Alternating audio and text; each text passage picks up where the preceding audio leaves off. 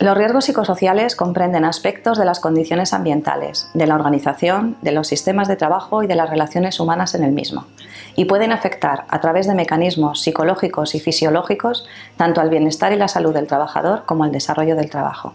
Por tanto, el empresario está obligado a incluir todos los elementos que afectan a estos factores en la evaluación de riesgos y tomar las medidas oportunas para que no perjudiquen la salud de la plantilla.